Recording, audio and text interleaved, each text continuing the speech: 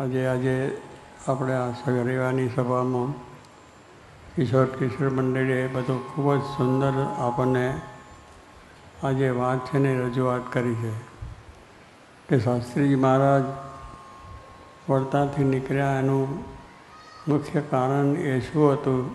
એ અક્ષરને પુરુષોત્તમ, એ જ્ઞાન સર્વત્ર થાય. શાસ્ત્રોક્ત છે. સંપ્રદાયના પંચગ્રંથોમાં એ વિદિત છે.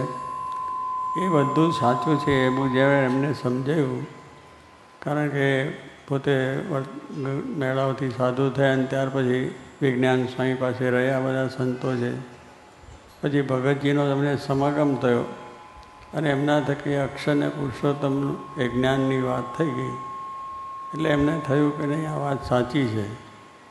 કારણ કે તે ઘડે તો અક્ષર પુરુષોની વાત તો વડતાલમાં થતી જ નહીં.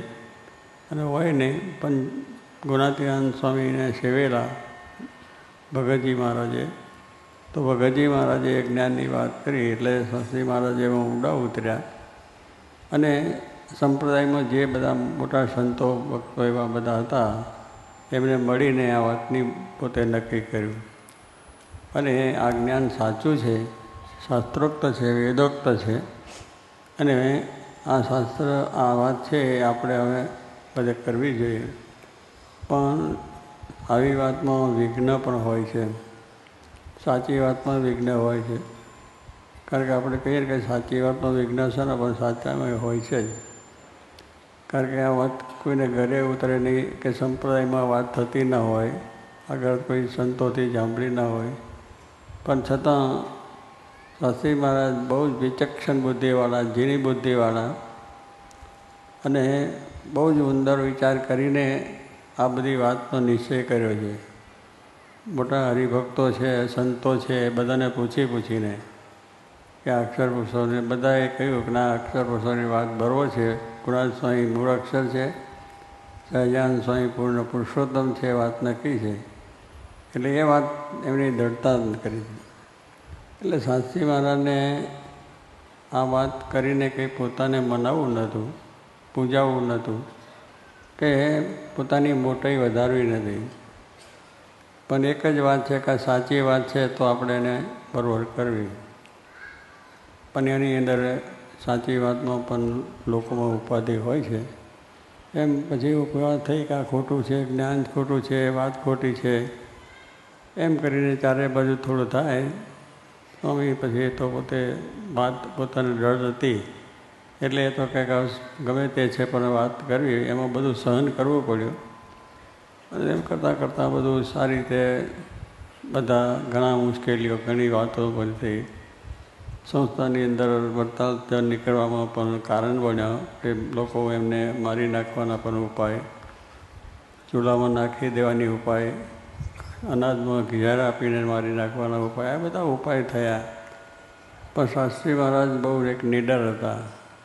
કે આવા બરાબર પ્રસંગોથી પણ એમને એક જ છે કે આ જ્ઞાન માટે ગમે તે થાય. શરીરના ચૂરે ચૂરા થઈ જાય ગમે થાય, પણ આ જ્ઞાન આપવું છે.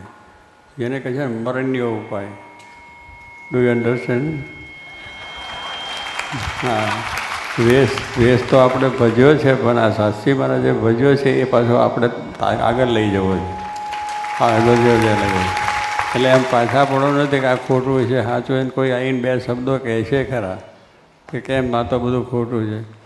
આ બોલતા હતા ને સાહેબ શું નામ? અમથાલાલ જ નામ અમથાલાલ. એટલે અમથા અમથા ક્યાંકથી વાત સાંભળીને અહીંયા આવીને વાત કરે અમથાલાલ અમથાલાલ. પણ એવી ઘણા લોકો અમથા અમથાવાળાને બધાએ કર્યું. પણ શાસ્ત્રી એની કોઈ અસર ન થઈ. એ વાત સાચી છે એમ. એમને જે શાસ્ત્રોથી અને મોટા હરિભક્તો, સંતોથી વાત કરી સાંભળેલી. એટલે એમને જેવું તેવું જેમ તેમ કરીને આ ભેગું કર્યું નથી, તો એવી વાત એમની ચોક્કસ હતી, તો આજે એ વાત પ્રસન્ન થઈ જાય.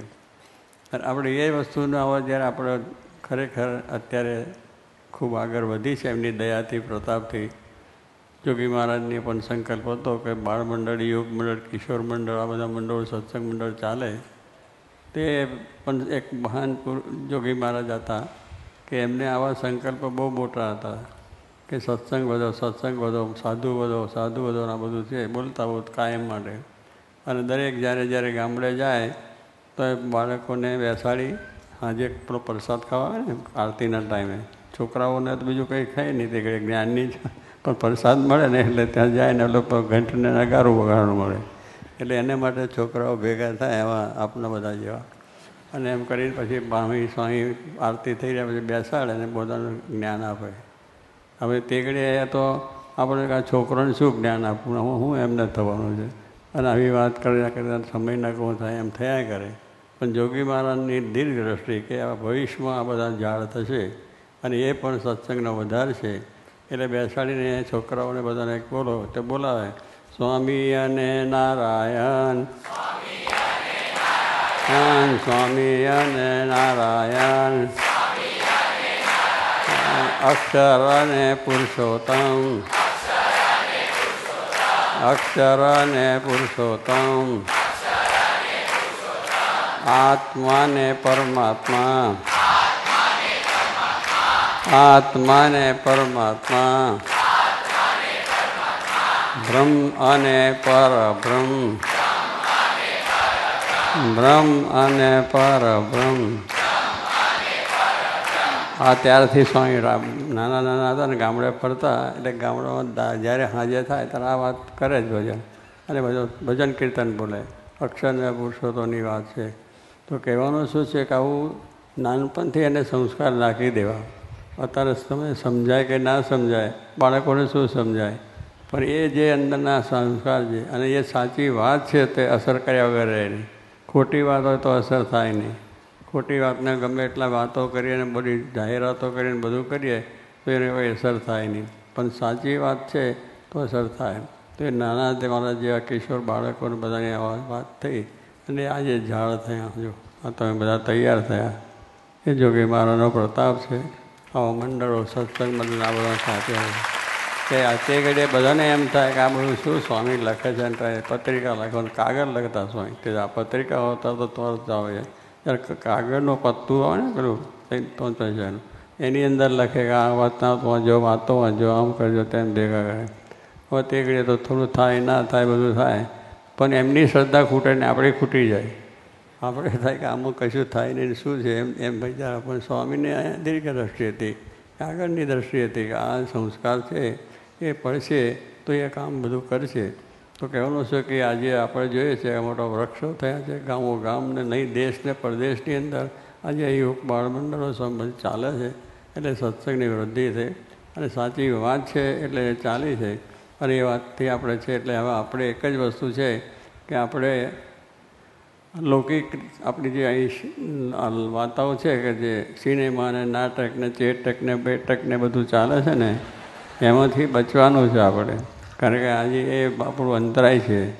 આજી વાત સાચી છે, જ્ઞાન સાચું છે, થાય છે, કરીએ છીએ બધું છે. પણ સાચું પેલી નજર પાછી આગી પાછી ના થાય, એ બહુ ધ્યાન રાખવાનું. કારણ કે એમાંથી આપણી બુદ્ધિ ભ્રષ્ટ થાય. જોઈએ એમાંથી બુદ્ધિ ખરાબ થઈ જાય. અને તમે બધા જાણો છો, ભણો છો, ને તો બધું ખબર જ છે.